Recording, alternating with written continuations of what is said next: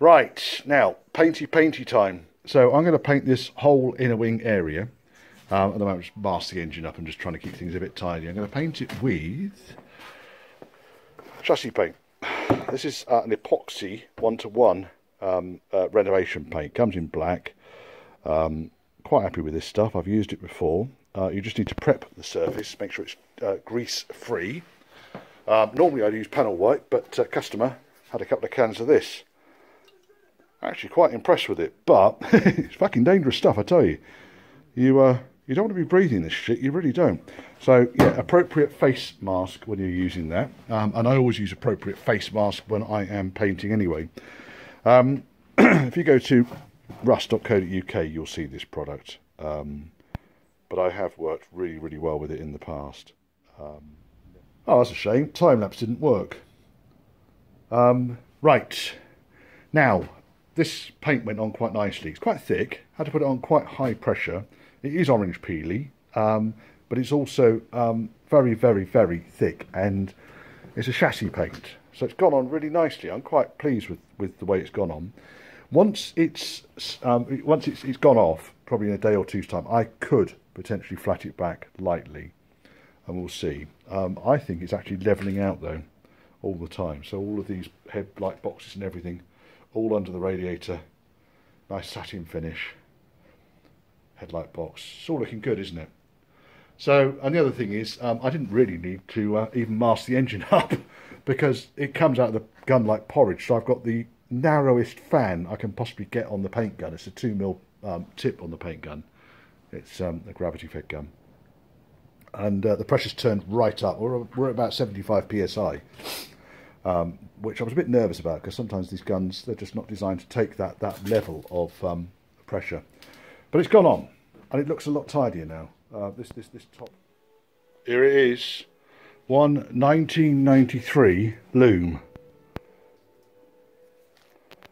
complete. This is where it starts.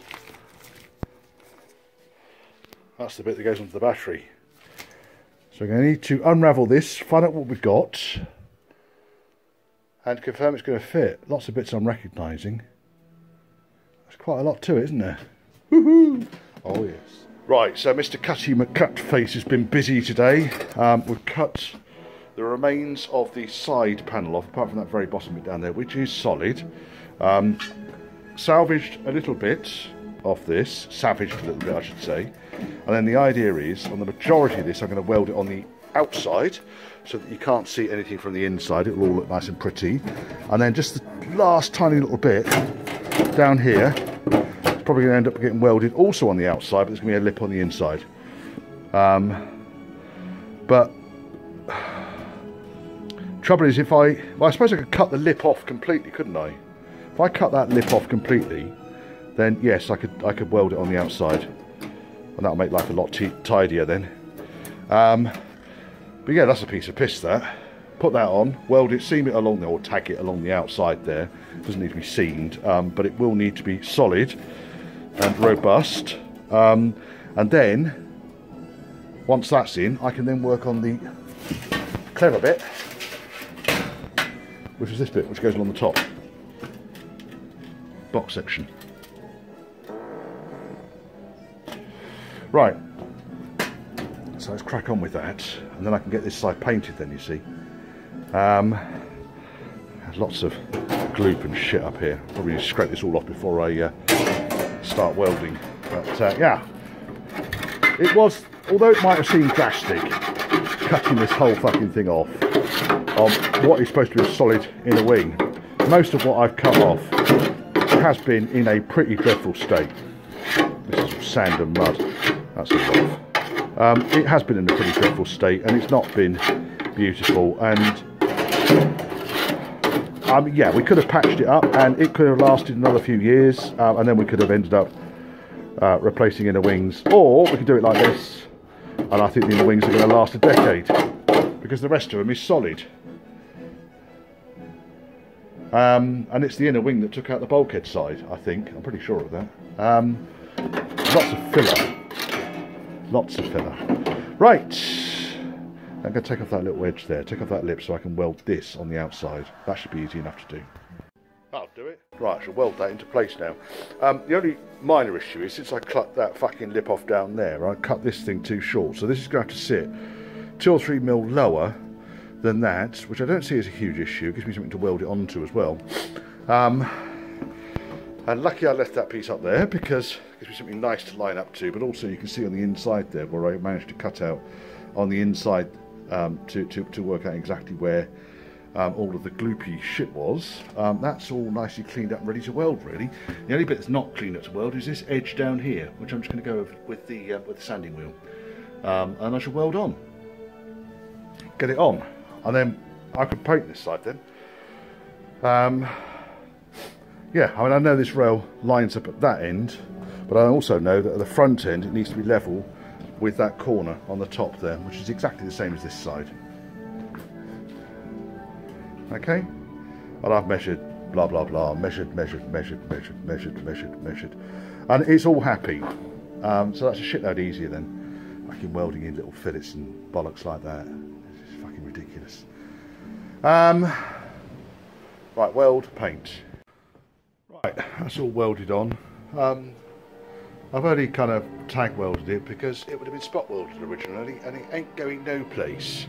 So the only place I've done a bit more welding is down there on the bottom, uh, but the rest of this is really just tag welded into place. So I'm going to clean these welds up on the top here and along the bottom. I'm going to paint it, then I'm going to seam seal it, and I'm going to paint it over the top again. Um, because this edge especially is prone to rot because water comes out of the bulkhead, dribbles down, sits in between that gap there, which I've tried to get as tight as I can. Um, but yeah, that's good. Right, the other thing I'm going to have to do is just slice the front end of this rail off um, because otherwise the outer wing won't fit, I don't think. But I'll give it a go first of all. In fact, there's the outer wing there. Check the fucking thing fits, haven't I? Yes, it does, but I do need to take this front corner off, which is why it's some um, chamfered on the other side, so that's easy enough with the angle grinder. The rest of it lines up fine. Uh, bearing in mind I've got to put the bracket on the inside here, which supports the wing. Right height. Yeah, that'll work. Happy enough with that. Let's get on with this. So what time is it now? It is... Oh, quarter, quarter to 11. That's not bad, Tim. A couple of hours to get that done in total. Um, took me a lot longer than two hours to do that side, so it was the answer. Um, uh, so paint, seam seal inside and out, um, and then we can start assembling this side. Woohoo! Um, turn the radio for a second because I need to have a serious conversation with you about your turbo, sir. Right, radio's down. Turbo. Yes. So I had to take all the um, inlet, inlet, air inlet pipes and stuff off, but I protect the outside of the turbo with a glove, and I'm going to replace that. First of all, you really shouldn't have shitloads of oil and stuff on your turbo inlet. Um, and secondly, when I get hold of the end of the vane, and you can see the vane in there, so the nut in the middle of the circle, turn the light on. Looking at the turbo vane itself in the middle, I can hold with one hand and wiggle. It's got play in it. So I can feel, if you see the gap at the bottom, on this bottom vane down here, you can see that opening and closing. Turbo's fat, mate. It's not good. Um, that thing spins at tens of thousands of RPM and it's not going to tolerate a worn out bearing. So we'll have a chat about that, but uh, yeah, turbo's not great. Um, however, this is well chuffed with this. This paintwork has settled down quite nicely. A bit dusty at the moment because I've been doing all manner of uh, grindy, grindy, grindy and stuff. Yes.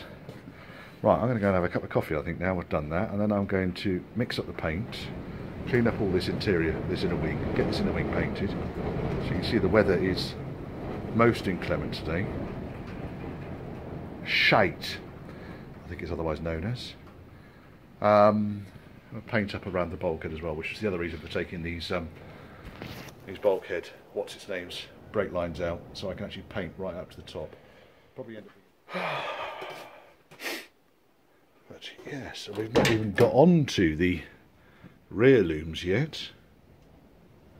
So the rear loom's all dangling from the ceiling here like some sort of macabre spider's web of horror. Um, floor pans are drying nicely. I managed to just scuff that piece there on the rear heel board, but that's not going to be a problem. I'll just paint over it again tomorrow. Um, might want the insides of the doors painting black as well, Tim. I don't know. I have. I'd probably need to ask you. Do you want the trims putting back on the doors again? I'd imagine you would. God, that door closes nicely. Look at that gap. I've not played with that one. That's why. That's why the gap's good. Um, right. So seven o'clock. I've had enough. It's been a good day. I've got a shitload of stuff done. That whole inner wing now is finished.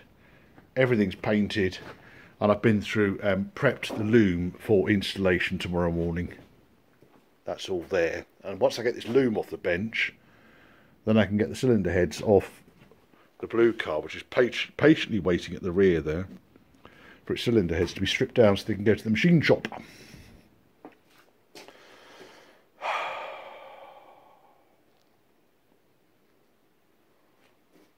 it's easy It's easy to get confused. My new little torch, by the way, I like this.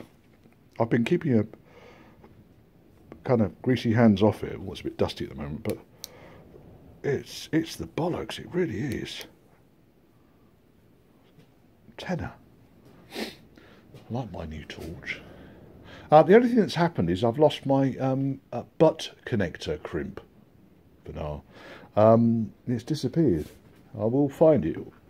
I would have put it away in a box and thought that's a sensible place to put it, and then not been able to bloody find it since because I couldn't remember that I put it in the box that was the sensible place to put it. Headlight connector um, crimps. Because when you come to change a bulb on the headlight, it's a pain in the ass when you've just got, just got three blue crimped on spades um, and you've got no idea how that um, actually attaches to the headlight. And while we're talking about headlights, I don't know what the fuck has been going on with these bowls. I mean, look at the... There should be one fixed point on the bowl. That's it there, isn't it? But someone's sort of cut. I might just get you another pair of bowls, Tim, just to make life easy because I could probably get these headlights lined up. But it might take me three hours. With some decent headlight bowls where you fix the headlight in one position. It's possible that, yes, it would be because um, the headlight bowls will be um, directional, left or right hand drive. So these have come in from a left hand drive car. So your chap who MOT'd it last time has cut off the fixed point for left-hand drive and then right organising this loom to go in so getting the basic components roughly in the right sort of place we've got the parts that need to go up to the steering column and the dashboard just wedged up there we've got all of these bits which need to bolt on to the underside of the steering column support we've got all the relays which go on the driver's side panel um, and the various door and rear loom connectors there. I've tucked all the rear looms out of the way at the back there. I've pulled the driver's side loom through the side of the bulkhead and that's kind of just sitting there waiting. Before I do this side, uh, so this, here's the, here's the, um, the, the near side loom. A big chunk of all of this lot needs to go through the bulkhead side up here, that, that little round hole there. Um, and then the rest of it really needs to then suspend on the bulkhead. Um, and I've got all the centre console stuff, blah, blah, blah, just wedged down the middle here. So yeah, we're moving forwards. Door looms are on their way. This paint's up quite nicely. I've been fiddling around with lights and indicators and stuff, and the problem I've got is that all of these things have got the wrong bloody connector on them if they've got any connector at all. Now you can actually just buy uh, the internal loom part or I could just use bullets. I don't know. I'm working on that at the moment. I need to do an assessment on all of the lights because all of the lights that I've got are for the earlier loom connections and now I've got a later loom. I still need also to work out what I'm going to do about the immobiliser in the loom. Because um, there will be an immobiliser in the loom. Because this is a 1992-93 loom. Um, so I'm going to work that out and suss out what I'm going to do there. Um, but it is starting to come together. I need to put a connector onto that and then that connects onto that. So these two, so that's obviously goes to the starter motor. That goes to the rest of the car. So the, um, the its isolated pin is no longer um, relevant for this, this, this, this particular loom. Yes. It's all fun and games. Bloody cold today. Right, so that's the loom basically in place now. Um, I found something else that's different left-hand drive to right-hand drive cars. Um, the blanking plate, which was over here, needs to go over there. They're different, left-hand drive to right-hand drive. Would you fucking believe it? So, this is the bastard. Now basically, that wants to go onto the car that way round. Or that way round. It was on that way round, here like that. Okay, so I put it on that way round over here, and the bolt holes don't line up because it's upside down. You put it the right way up, and the loom won't reach these holes. What a ball's ache. Never mind. Um, right, okay, so I need to get one of those from Tim. Um, the other thing I'm missing is there's a dash support piece which goes on the corner of the dash. Now, obviously, because I've got the steering column brace in place now, that supports this corner of the dash. I've got nothing supporting that corner of the dash. There is a brace that goes underneath it. Um, if I can get hold of one of those, I will. It's not desperately urgent, but I guess that it's there for a reason. I mean, Land Rover didn't add weight to their cars for no good reason. um, Yes, so I mean that's also bent as well for some reason. Um, yeah, I need one of those. Right, it's lunchtime. I got a little bit distracted. Um, so basically, put in the um, the bulkhead uh, brake looms and beautified this side. Got all that all connected up. That's happy with that. And then went nuts putting acne on the inner wings. So filling all the little holes up, or most of the little holes where I grommets big enough. So the majority of the, the, the holes there are now filled up. Land Rover just drilled so many fucking holes in these things. Um, that's been pretty much it for this morning. So got the got the loom placed on the bulkhead, fed it through the bulkhead sides on both sides, got the loom into the right locations, um, identified a couple of minor issues with the loom, got everything fed up there. Um, one body loom's fed in, that way from the front, see it going at the A post over there just doing the other one now, so I've had to take the other rear light unit out. Um, there's actually not that much bodgery on this uh, on this loom. Um, it's in rather good shape, um, but all completely wrong fucking connectors. So it comes off. Um, it's a bit of a balls ache, but uh, the other thing I noticed here, while I had the boot open, that is completely fractured there. So another little welding job for me to do. It's fractured around the edge of the weld. You can see that, you can see it now. Um, easy enough to fix though. Get in here with a tickly stick. Um, just make sure there's no wiring or anything nearby. But that's just a quick flash, that one. Um, yes. No, no, neither of these uh, heated rear window cables was attached by the way I can't even find the wires for it and it looks like the um, rear wiper is fucked as well. Um, I'll have to test it, but uh, it's never good when they don't come with a bloody cover on them. There should be grease and stuff in there. I'll have a look. If I can't get it working easily, I shall just remove and uh, we shall consult. But I mean, these things, they do need a rear wash wipe because you just, when you're driving down the road, you just drag a world of crap behind you on the road and it all hits the back window. So unless you've got any particular desire to have not seen where you've been, and I can understand that, um, then I would be inclined to uh, have it working. Um, That's it. All in. So you tuck the back part of the headlining up. This headlining doesn't stink, unlike the mat that came off the boot. That is revolting. I know exactly what you mean now. I'm going to take this um, sound deadening out of the boot floor as well because that just looks disgusting. Um, and the carpet off the wheel arches and it'll give me a good indication then if, um, if there's any welding needs at the back end. But at the moment, this loom is now in front to back. Just needs all connecting up. And that is, what are we? 25 past 5. That's not been a bad day so far. Um, I think I might get the heater in next just so I can get that bolted up. Um, I put a new pipe in for the uh, rear wash wipe, but as I mentioned, I think the rear wiper's fucked. We'll see. Right, put the wing support panels on and the wings on. Uh, they're sticking out at the bottom because I hadn't. I've got to paint these fuckers. Um, so when they're dry, I'll put them on. The loom's through here. Loom's going to be through there in a minute. This wing's on, and then I was um, putting the door loom in on this side. Um, door loom's gone through. There he is, all connected. Um, and then I managed to get the mirror through, mirror loom through by threading a really long cable tie down there and attaching it onto the end. There you go. Um, so that's that. There's a whole load of extra wiring in here. God knows what that one does. Um, speaker wires, um, central locking wires. That one might be central locking actually. Um, not needed for this car. Um, so I'll just tuck them out of the way in case anyone ever wants to retrofit central locking. There's the wiring. It's all there. Um, and another one there. I don't know what that does. I think that's probably light. Because they have lights on these things. It's quite possible that's a light. Um, perhaps you want a light in the bottom of your door, Tim. I don't know. Anyway, it's there. Um, right, so now I can get this um, this this window frame bolted in. Now I've done that, and I know I don't need to take the bloody thing out again.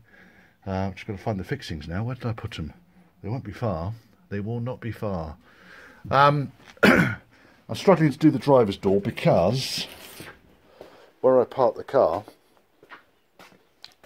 I can't get the door right open because my parts washing tank's in the way. Um, so I can't really get into there. I could probably get the door loom through, but I'm not going to be able to get the screws into the end of the wing, um, which is a pain in the ass. But never mind, these things happen. Right, fitting this um, this door brackets in. Um, and I figured why now. Um, there was just things wedged in there. Um, and that's because these are uh, UNF captive nuts on here. So Manuel, I'm guessing, rather than do it properly, decided to just hammer metric bolts through. I've managed to recover the thread, and I can do this one. I'm going to take that one out again um, and do that. I'm surprised actually these are uh, UNF and not metric. I would have thought they'd be metric, um, but I don't know the age of this door. I don't know where these parts have come from. Uh, maybe it's just a hangover that Land Rover made about six billion of these things um, in 1970 um, and just kept picking them out the parts bin. And they're probably about the only thing on this car that's um, that's uh, imperial rather than metric. Anyway, thought you'd be interested to find that out. Or maybe you're not interested, I don't know. But anyway, we're going to put this door together. Can see all the looms all in. I've tucked all the bits that we're not going to need up to the hinge edge of the door, so nothing's going to catch on the window when it goes up and down. And I'm going to put the mirror on. Woohoo! Getting these indicators sorted out. Um, if you find yourself with a combination of connectors, new and old, blah, blah, blah, blah, blah, um, and you can't be asked to work it all out, First of all, just double check whether there's spade connectors in there. This one's got spade connectors, but it wouldn't have helped me past the connector issue. so what I'll do is I will crimp on bullets. Now, these little chaps are bullets. You can solder them on or you can crimp them on. These are the crimp variety. Um, and the idea is you then push them into a connector, be it a double, that's a double, or a single, single. One cable to one cable four cables. Um, so that would be quite useful for things like uh, an earth connector and so forth, because you can put four earths into one. Um, right, obviously we can then um, put a big giant shrink wrap. These, these are used ones, by the way. These are the ones I could find at the time, but I have got new ones. I wouldn't generally reuse these things because they get quite scrappy inside. You can see that one there. So a bit nasty inside. Right, so what do we do? Well, first of all, you buy yourself a nice crimp tool. Just get these things. I, I go to um, I'll post the link on the text underneath this. I can't remember the exact name of the company, but I will. Vehicle wiring products. There you go. Vehicle wiring products. I'll post the URL.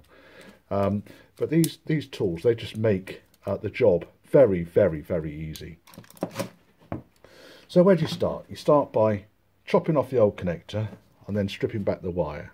Um, and I'm going to strip back about a centimetre of this wire. Okay.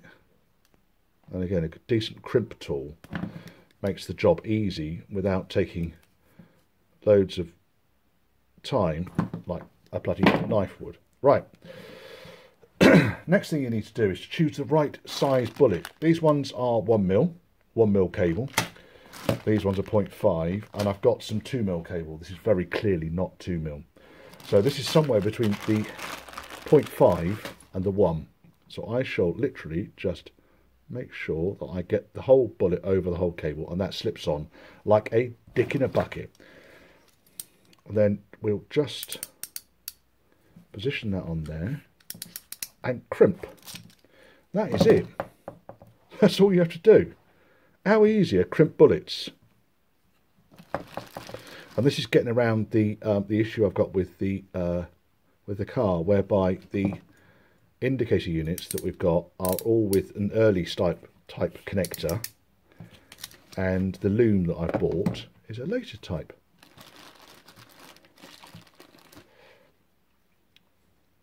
So it took me longer to actually put the camera on the tripod than it's taken me to get this all set up.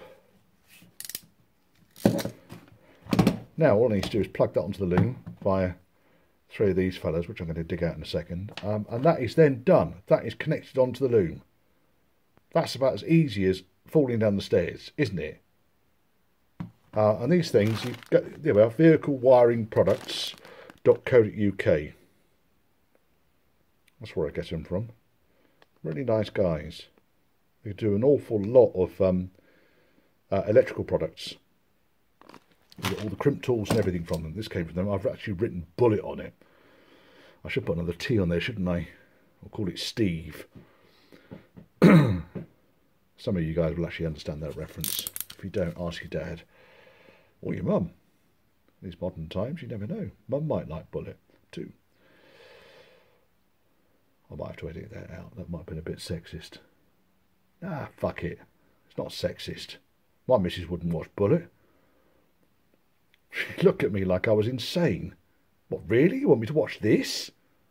It's a sort of film a bloke watches naked eating steak. Right, so that's that done. Um, I will... Um, I need to put another bulb in these because um, the bulb was broken. The bulb wasn't broken. I broke the bulb. So I'll provide a 5 watt bayonet bulb. That one's actually looking a bit on the tired side. Don't know. and then I can then connect this indicator unit up. Marvellous. Thank you for watching.